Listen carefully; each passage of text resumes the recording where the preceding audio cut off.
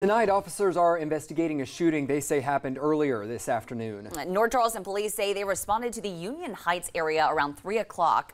Our crew saw a police presence on Hugo Avenue. Now, details are very limited. The department says there is no additional information at this time. And no word on a suspect or what led up to the incident, but of course, we'll continue to update you as we learn more.